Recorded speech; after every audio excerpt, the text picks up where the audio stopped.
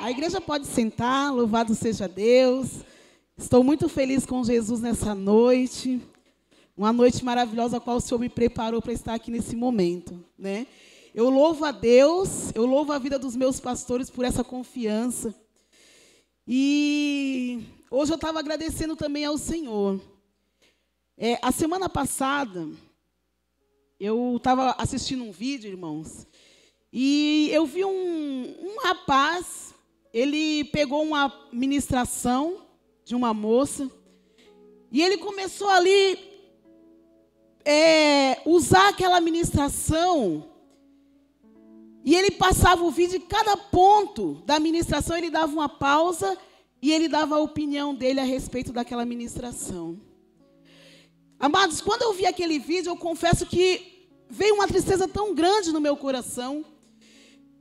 E eu até compartilhei com a pastora semana passada. Eu falei, pastora, eu tenho orado a Deus. Olha o que eu falei para Deus, igreja. Eu tenho orado ao Senhor.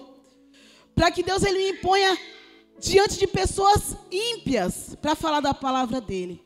Porque é muito difícil pregar para crente. Eu falei isso diante daquele vídeo que eu vi. Porque ele pegava, pastor, cada, cada detalhe do que a moça estava falando e lançava uma opinião dele. E ali eu comecei a orar dessa maneira. E eu estou aqui hoje, pastora, porque Deus ele me respondeu.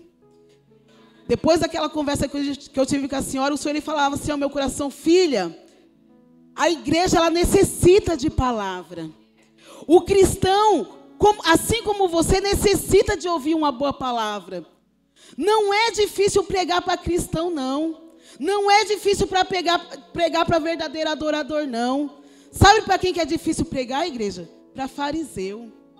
Foi dessa forma que Deus falou, pastora. Porque o adorador, o verdadeiro adorador, ele senta para ouvir a palavra do Senhor. Já o fariseu, ele senta para criticar. Lembra quando Jesus estava pregando, igreja? Os fariseus estavam ali no templo. Mas era para ver se Jesus tropeçava na palavra, era para ver se Jesus lavava não as mãos. Quando não falava, eles pensavam em si. Lembra quando a mulher estava lavando os pés de Jesus com unguento? Um os fariseus pensando: olha, ele nem imagina quem ela é. Mas Jesus, como é todo poderoso e conhece até o pensamento, igreja, né? O Senhor ele revelou para eles, ele sabia quem era aquela mulher. Então é por isso que eu estou aqui hoje, igreja. Pedi perdão para Deus. Falei, Senhor, me perdoa. E Deus falava assim, pastora, realmente, vai ter cultos que vai ter adorador, sim, mas vai ter culto que vai ter fariseu também. Mas não é por isso que você vai deixar de pregar a minha palavra. Então que nós viemos ser adorador de Deus aqui nessa noite, igreja. Que nós não viemos ser fariseu, porque nós não estamos aqui para analisar. Ah, como que fulano canta. Eu acho tão bonito, não sei se vocês já repararam o pastor. Uma vez eu, eu lembro que tinha uma pessoa aqui cantando, e eu creio que o pastor naquele momento ele viu dificuldade naquela pastora, ele pegou, naquela pessoa, ele pegou o microfone para ajudar. Isso é atitude de adorador, igreja. Já o, o fariseu ele vai criticar, lá errou. Então seja adorador de Deus nessa noite, igreja. Adore ao Senhor, amém? Louvado seja o nome santo do Senhor. É, eu vou ler essa, a palavra que Deus ele me colocou no meu coração, igreja. Fica aqui no livro de Salmos, capítulo 40, amém? Louvado seja Deus. Essa mensagem, Deus ele entregou para mim, pastor. Eu estava de joelhos na minha cama. Estava fazendo uma oração ao Senhor, pedindo confirmação de uma resposta, de algo que o Senhor ele me fez uma promessa cinco anos atrás. E durante esses cinco anos, igreja, eu nunca, nenhum momento, eu indaguei ao Senhor, cadê a promessa que tu fez para mim? Porque no momento, igreja, que Deus ele me fez essa promessa, eu me achava tão indigna de merecer aquilo. Porque foi logo depois que eu, como filha pródiga, voltei para os braços do Pai. Para muitos que não sabem, há sete, sete anos, há nove anos atrás, eu passei seis meses no mundo. E eu me lembro que quando eu volto para a igreja, assim como o filho pródigo, o pai ele vem e coloca um anel do meu dedo, me dá vestes novas e me dá sandálias novas. E durante esse tempo, igreja, que Deus ele me fez essa promessa, eu nunca falei, Senhor, e aí? Porque eu entendo que o Deus que promete, ele é fiel para cumprir, igreja. Se Deus ele te prometer algo, não precisa ficar questionando o Senhor, não. Ele é fiel para cumprir na minha e na tua vida. E quando foi domingo retrasado, eu orando ali no quarto,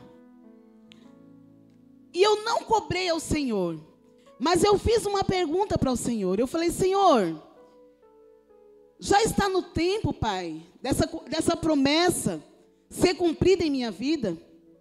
E ali de joelhos, igreja, o Senhor ele respondeu ao meu coração, porque eu estava de joelhos pedindo uma palavra ao Senhor. E ali o Senhor ele respondeu no meu coração de joelhos. O Senhor ele falou forte no meu coração: Filha, medita no Salmo 40.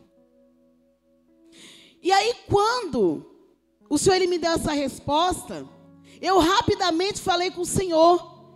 Eu entendi, Senhor, porque o Salmo 40 a gente conhece. O Salmo 40 a gente lê. E ali eu, eu falei para o Senhor, eu entendi, Senhor. O Senhor está pedindo para que eu espere mais um pouco. E ali, pastor, o Senhor me repreendeu quando eu respondi dessa forma para o Senhor. O Senhor lhe falou, filha, medita, examina o Salmo 40.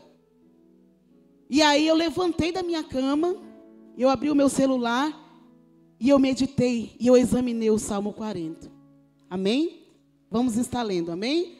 Abra vossas Bíblias em nome de Jesus no Salmo 40 no versículo, eu vou ler do 1, aleluia, até o versículo 4, amém? Até o versículo é, 3, louvado seja Deus, do 1 ao 3, amém? Louvado seja Deus. Coloque sobre os pés, igreja, em nome de Jesus. Não em reverência a mim, mas a palavra do Senhor, amém? Louvado seja Deus. Salmo 40, do 1 ao, ao 3 que diz assim: Esperei com paciência pelo Senhor. A minha está com a tradução um pouco diferente, amém, igreja? Esperei com paciência pelo Senhor. Ele se inclinou para mim e me ouviu quando clamei por socorro. Tirou-me de um poço de perdição, de um atoleiro de lama. Colocou os meus pés sobre uma rocha e firmou os meus passos. E me pôs nos lábios um cântico novo, um hino de louvor ao nosso Deus. Amém? Vamos orar. Soberano e eterno Deus, aqui está a tua palavra, Senhor. Deus, a qual, Pai, o Senhor colocaste em meu coração, Pai. A qual o Senhor trouxe a verdadeira revelação dessa palavra, Senhor. Meu Deus, que o Senhor possa, Pai, falar com a tua igreja nessa noite. A tua igreja, Pai, que entrou aqui esperando por algo, almejando algo, ansiosos por receber algo de ti, Senhor. Meu Deus, revela, Pai, a tua palavra, Senhor, ao coração dos teus filhos nessa noite. É o que eu te peço e te agradeço em nome do Pai, do Filho e do Espírito Santo de Deus. Amém, igreja? Louvado seja Deus, louve ao Senhor Jesus com as palmas, amém? Louvado e engrandecido seja o nome santo do Senhor. Aleluia. Louvado seja Deus. Então, irmãos, quando eu estava ali durante, é, como eu falei, de joelhos, o Senhor ele pedia para que eu lisse o Salmo 40. E nós sabemos que o Salmo 40 é um salmo muito conhecido. É tão conhecido que a gente costuma até brincar com ele, não é verdade? Já casou, irmão? Não, estou no Salmo 40. E aí, sua família já foi salva? Não, estou no Salmo 40. E aí, a porta já se abriu? Não, estou no Salmo 40. Mas sabe quando nós lemos e não entendemos o verdadeiro significado da palavra de Deus? É por isso que quando Deus ele falou para mim, filha, a, a resposta da tua oração a respeito da minha promessa que eu fiz a ti está no Salmo 40. E logo em seguida eu falei, Senhor, tudo bem. Não tem problema, eu espero um pouco mais. E Deus me advertiu. Pega a palavra, examina. Porque a palavra de Deus fala, igreja, que nós temos que examinar as escrituras. Sabe qual que é o nosso defeito? A gente lê. Eu costumo comparar a Bíblia como uma consulta ao médico. Quem aqui vai no SUS? A gente frequenta o SUS. Irmãos, uma vez eu me lembro que eu fui numa consulta do SUS, talvez já aconteceu com você também. E eu cheguei na porta do consultório, Samuel, e o médico já perguntou com a caneta na mão o que estava acontecendo comigo. E eu olhei assim, estou com dor em tal lugar. Antes de eu terminar a falar, ele já tinha descrito, ele já tinha escrevido, ele já tinha escrito a receita. E eu fiquei pensando, falei, meu Deus, de uma dor ele já tirou a conclusão. E muitas das vezes é assim a palavra de Deus. A gente lê artificialmente e nós tiramos as nossas próprias conclusões. Mas é ao contrário quando a gente examina as escrituras. Porque a palavra do Senhor fala não é para ler as escrituras, a gente precisa examinar. E o exame é algo mais minucioso. Quando a gente vai no hospital particular é diferente. Eu estou fazendo essa comparação para os irmãos entender. Esses dias mesmo eu fui fazer um exame. Quando a médica pediu para mim deitar, eu até me assustei, pastor. Eu falei, nossa, vai me, me examinar? Eu falei, é, eu vou te examinar. Então, da mesma forma é a palavra de Deus, igreja. Muitas das vezes a gente fala, eu amo a Bíblia. Tem examinado as Escrituras? Tem consultado a Deus? Examinar é você ler com, com carinho, com profundidade. E aí, pastor, eu comecei a ler da forma que Deus ele me pediu os Salmos 40. O Salmo o 40 ele começa assim, ó: Esperei com paciência no Senhor. Naquele momento que eu li o primeiro versículo, pastor, o Espírito Santo ele desconstruiu totalmente a minha visão que eu tinha dos Salmos 40. Quem aqui acha que o Salmos 40 é um salmo de espera? Seja sincero, quem aqui acha? A gente sabe. Com esse tempo de evangelho, para mim, o Salmos 40, pastor, era um salmo de espera, mas não. Aqui o salmista estava falando assim, ó, eu esperei com paciência. Ele já tinha passado pelo tempo de espera. E eu falei, Senhor, eu já li tanto o Salmo 40, a gente até brinca com o Salmo 40. Aqui é um salmo, ele foi escrito no presente. O salmista não estava falando assim, eu esperarei, eu vou esperar. Não, eu já esperei. Louvado seja o nome santo do Senhor. E ali eu comecei a entender, pastor, o processo que Deus ele estava tendo comigo. Porque de joelhos eu falei, Senhor, então tá bom, eu tenho que esperar. E no momento que eu li o salmo, o, o versículo primeiro, o Senhor falou: Não, filha, você já esperou. O Salmo 40 quer dizer que você já esperou. O Salmo 40 é uma, uma, um, um salmo de conquista de vitória. Louvado seja o nome santo do Senhor. É um salmo para quem já passou pelo processo da espera, igreja. Louvado seja o nome santo do Senhor. E aí Deus ele começou a rasgar o Salmo 40 para mim, pastor. Porque Deus ele trabalha com o tempo, igreja. Quem aqui gosta de esperar? Ninguém. Esperar não é bom. E a gente vive numa sociedade que ajuda cada vez mais a gente não esperar. Mas a gente precisa esperar. Porque o nosso Deus, ele trabalha com o tempo. E porque o tempo, irmã Ana, o tempo ele é feito para nos aperfeiçoar. O próprio Davi, ele teve que esperar. Ele foi ungido quando ele era ainda criança. Alguns historiadores dizem que passaram 18 anos para ele sentar no trono de Israel. Aí nesses 18 anos Deus ele vai forjando. É rei, mas leva marmita. É rei, mas derruba gigante. É rei, mas vence batalha. O tempo é tempo de aperfeiçoamento, igreja. O tempo que Ele coloca na minha, na tua vida, é tempo de Deus Ele nos preparar para algo que Ele tem para entregar na minha, nas tuas mãos. Mas hoje nós queremos viver no imediatismo. E eu falo, meu Deus, e ainda a tecnologia nos ajuda a nos afastar desse tempo que o próprio Deus ele permite na nossa vida. Quando a gente está assistindo o YouTube, quem é que assiste os, os, os anúncios? Ninguém. Está lá a mensagem, pular anúncio. Porque eu não quero esperar o anúncio, eu quero ver a continuação do programa. Pelo amor de Deus, igreja. Quem aqui ouve áudio no 2.0? Ô oh, Jesus, tem misericórdia. É terrível. Esses, não, pastor. Esses dias diante do Senhor, eu ia ouvir uma oração do meu irmão no 2.0. Deus falou: é melhor não ouvir. Se você não tem tempo para ouvir, não ouça. Mas não faça isso. Louvado seja o nome santo do Senhor. Olha o que a tecnologia tem feito com a gente, igreja. Como que a gente vai esperar a vinda do Senhor se a gente não, tá, não quer mais esperar? Nós estamos vivendo a geração miojo, três minutos tá bom. É preciso passar pelo tempo da espera. E Deus ele é tão maravilhoso, pastora, que Deus ele me deu essa mensagem é, no domingo. E na terça-feira, quem lembra da mensagem aqui de terça-feira?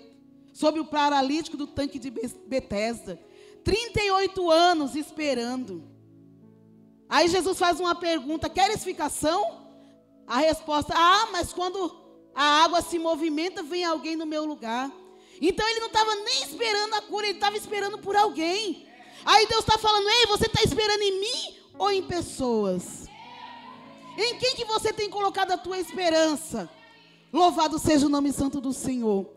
E aí, pastor, o, nesse Salmo 40, Deus ele me esclareceu sete tempos entre a promessa e o cumprimento da promessa.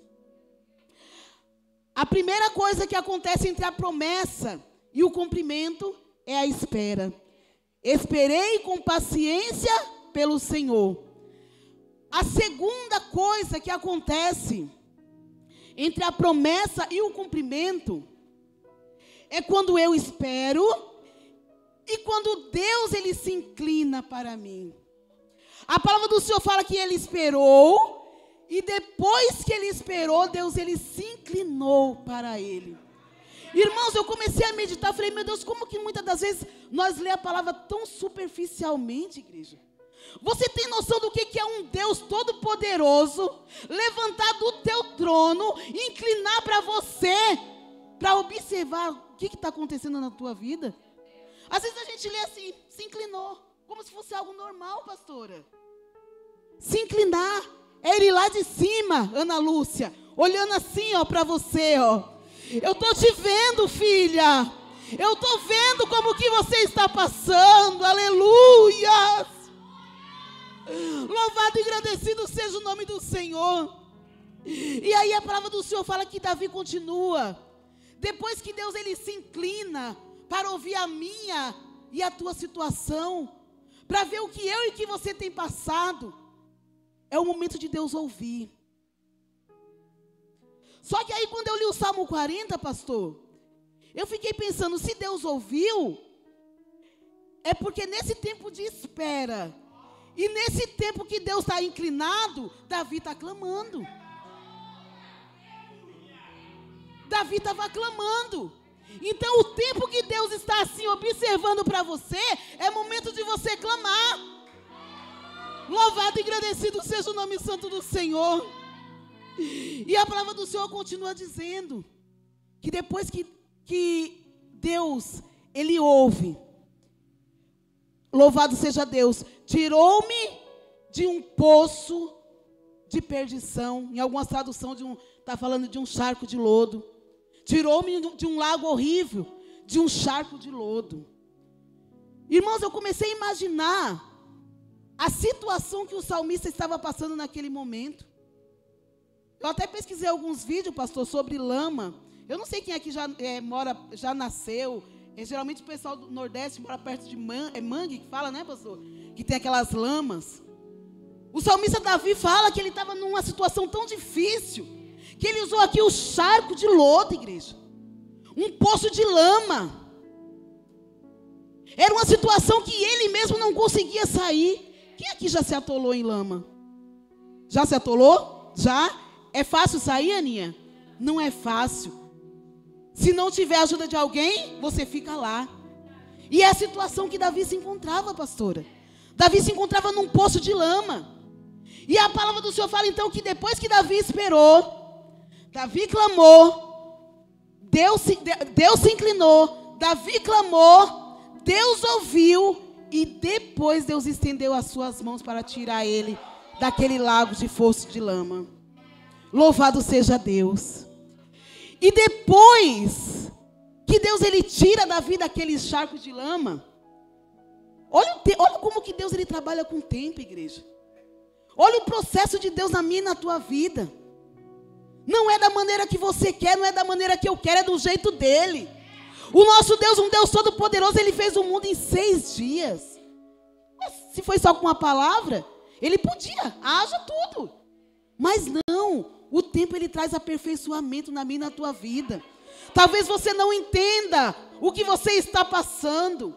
Talvez você está querendo apressar o processo, mas Deus está falando: eu estou trabalhando, eu estou te aperfeiçoando, aleluia. Louvado seja o nome santo do Senhor. Entenda o processo, igreja. Uma gestação ela dura nove meses.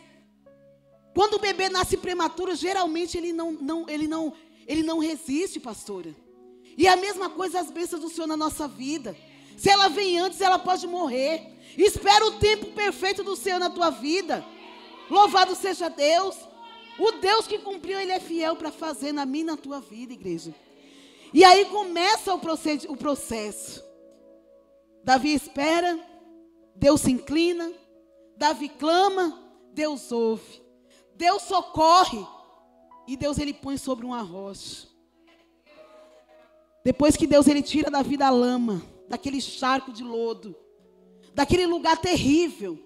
A palavra do Senhor fala que Deus então vai colocar Davi sobre as rochas.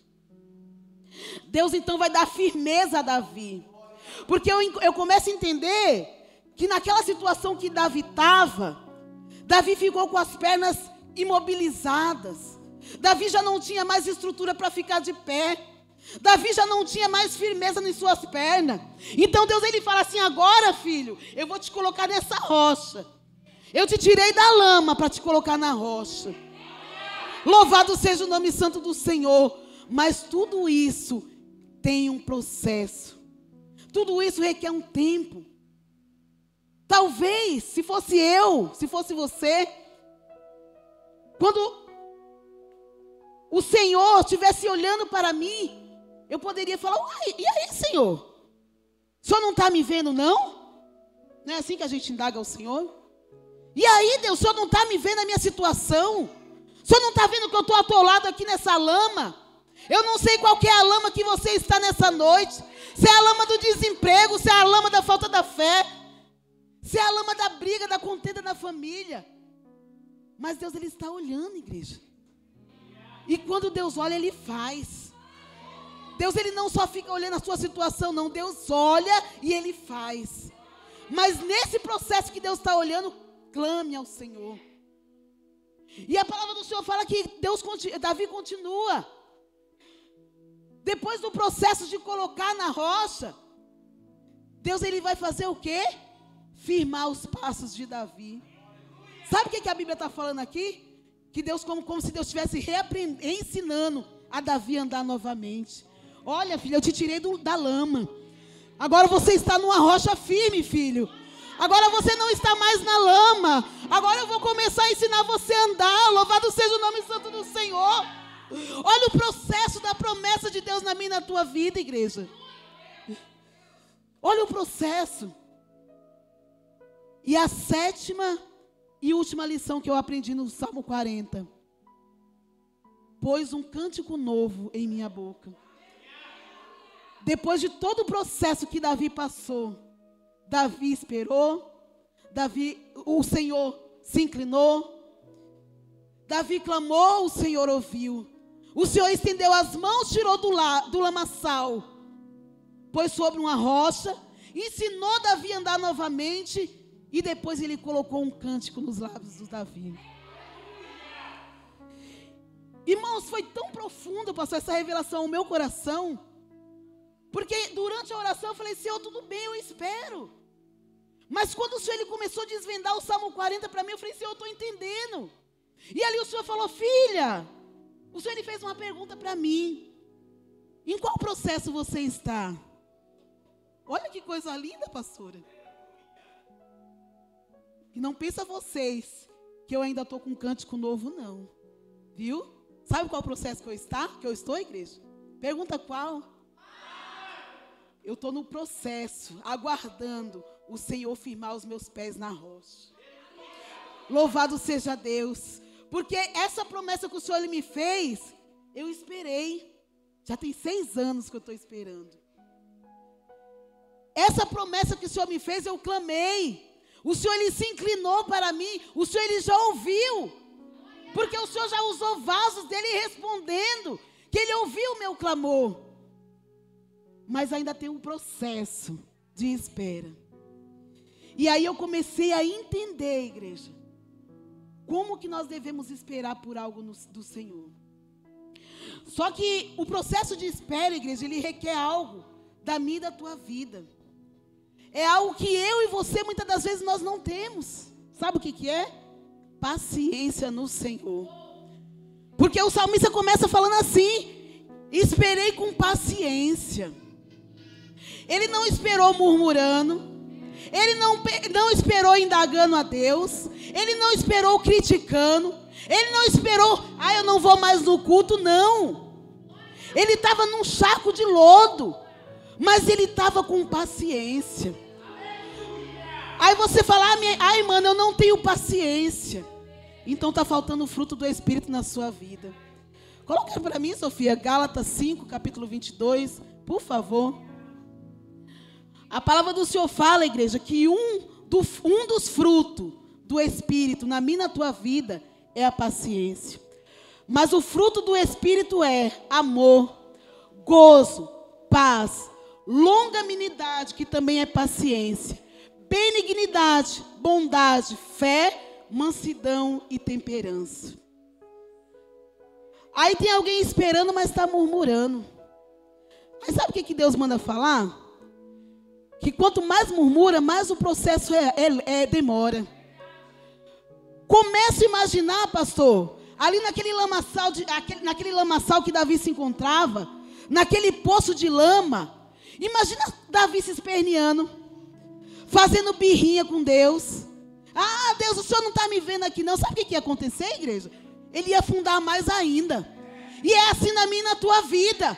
Quanto mais você reclama, quanto mais você murmura, mais o processo demora. A demora não está em Deus, está em mim, está em você, igreja. Lembra do povo de Israel? Eram 40 dias que por causa da murmuração viraram 40 anos. O Senhor está falando aqui nessa noite, tenha paciência. Aprenda a esperar com paciência no Senhor. Ah, mas eu não tenho paciência, é fruto do Espírito. O nosso Deus, ele é paciente, igreja. Porque a Bíblia fala que Deus é amor. E 1 Coríntios 13 fala que o amor é paciente. Então, se Deus é amor, ele é paciente. E nós temos que ter a característica dele em nossa vida.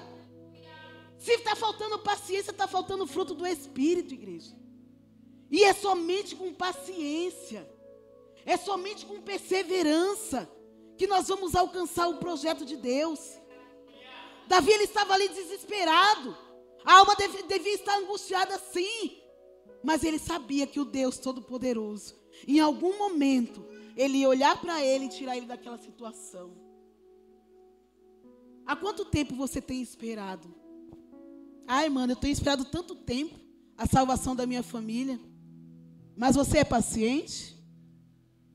Você tem paciência?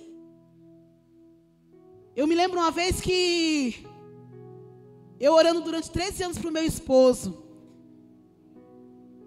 Esse é um aviso para a mulher que, não, que tem um esposo que ainda não serve a Deus. E uma vez eu chamei ele e eu, eu indo para a igreja. Eu falei, Senhor, essa é a última vez que eu chamo esse homem. Ainda falei assim, ó, que ousadia. Essa é a última vez que eu chamo esse homem para tua casa. Não vou chamar mais não. E ali no meio do caminho eu ia chorando para a igreja, que o meu desejo era, era cultuar juntamente com ele. E ali o Senhor ele falou ao meu coração: mulher, tive tanta paciência contigo.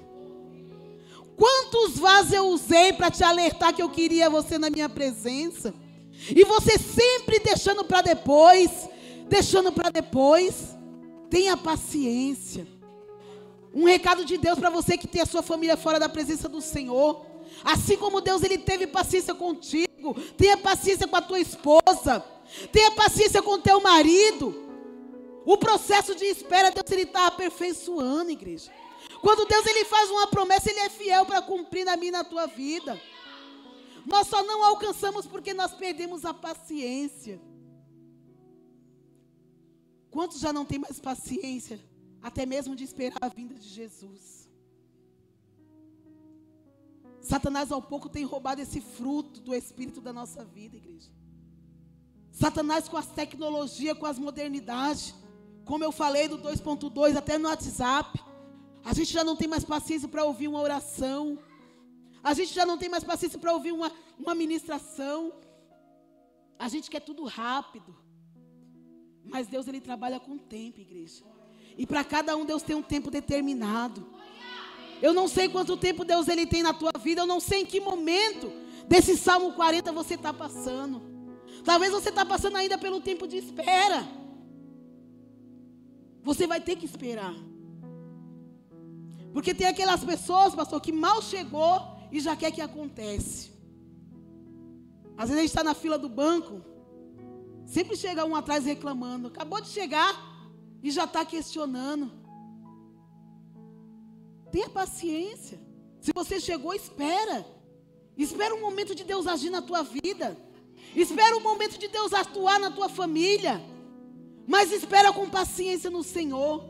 Porque, como foi a pergunta, esperar não é fácil. Mas com paciência no Senhor se torna fácil, igreja. Quando a gente pega essa paciência que não é nossa, mas é fruto do Espírito. Ah, irmã, eu sou impaciente. Vai orar. A impaciência é falta de oração, igreja. Às vezes meu esposo fala assim: essa aí não vai morrer nunca. Não me abalo. Porque eu sei no Deus que eu sirvo, igreja. Eu tenho convicção no Deus que fez a promessa. Louvado seja o nome santo do Senhor. Lembra de Jacó?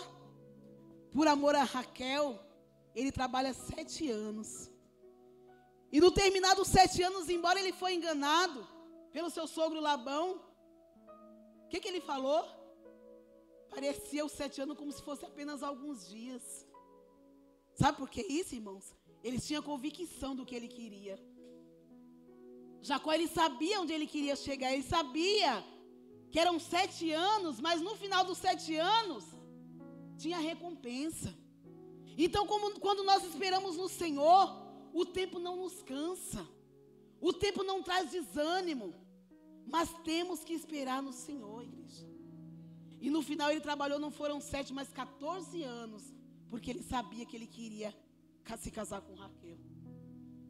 Então, que nessa noite, igreja, nós venhamos aprender com Davi que não é do jeito que nós queremos. Nós viemos aprender com Davi que para tudo existe um processo. Que para o milagre acontecer nas nossas vidas existe processo. E no processo Deus ele está nos usando para nos fortalecer. O processo Deus ele está usando para nos aperfeiçoar. Já pensou Deus unge Davi quando criança? Aí daqui a pouco Deus está mandando Davi ser marmiteiro. Vai lá levar comida para os seus irmãos. Se fosse eu e você, igreja, com a unção de rei, hum? Tem alguém que é diácono não quer lavar o banheiro? Eu não, diácono. Eu lavar banheiro, não, imagina. Presbítero, eu não. Aí quer chegar no, no apostolado, como? Não. O tempo de espera é o tempo de processo, igreja. É o tempo de aperfeiçoamento. É o, é o tempo que Deus ele pega para nos forjar. Então não questione a Deus o tempo que você está esperando. Deus ele está falando: Eu estou sim, filho, atento ao teu clamor. Eu estou sim, filho, atento. Não fiqueis inquietos, louvado seja Deus, mas crede em mim, louvado seja o nome santo do Senhor.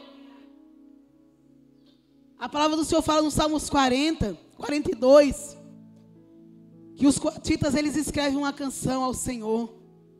Naquele momento eles estavam passando por uma angústia muito grande, uma, uma angústia de exílio, onde eles não podiam adorar o nome do Senhor. E aí ele fala: Minha alma tem sede de ti, ó Deus. Assim como a corça espera por água, assim a minha alma tem sede de ti, ó Deus.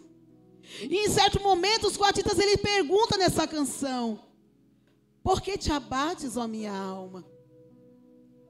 E por que te perturba dentro de mim? Eu não sei de que maneira você chegou aqui nessa noite, igreja.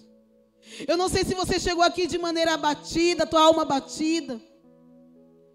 Porque foi até falado, a pastora falou na terça-feira passada. A espera, ela muitas das vezes ela nos adoece. Mas quando a gente espera no Senhor é diferente, igreja. Porque o próprio Deus, ele nos acalma. O próprio Deus ele faz nos entender o tempo de espera. O próprio Deus ele faz nos aperfeiçoar enquanto nós estamos esperando. O Senhor ele fala para alguém aqui não desista, porque Deus ele está perto para se inclinar e olhar o teu clamor. Não desista, porque Deus ele não está fazendo vista grossa para o teu problema não. Tem alguém falando, ah, do tempo que eu estou esperando, Deus até esqueceu de mim. Deus está falando, não, filho. Eu não esqueço dos meus filhos um só momento. Para alguém aqui, Deus já está assim, ó, inclinado. Deus já está assim, ó, lá do céu, olhando para você. Mas o Senhor, Ele fala: enquanto eu me inclino, clame a mim. Louvado seja o nome santo do Senhor. Não espere de boca calada. Clame, clame por socorro. Porque eu sou fiel para socorrer a tua vida. Louvado seja o nome santo do Senhor. E aí o escritor da canção continua dizendo: Porque te abates, ó minha alma? Porque te perturba dentro de mim? E aí ele responde para a alma dele mesmo: Espere em Deus. Espere em Deus, alma. Porque eu ainda o louvarei. Espere em Deus, meu irmão, porque você ainda vai louvar o nome santo do Senhor. Espere em Deus, porque o novo cântico ainda vai chegar aos seus lábios. Muitos verão e temerão e verão que Deus ele é na tua vida.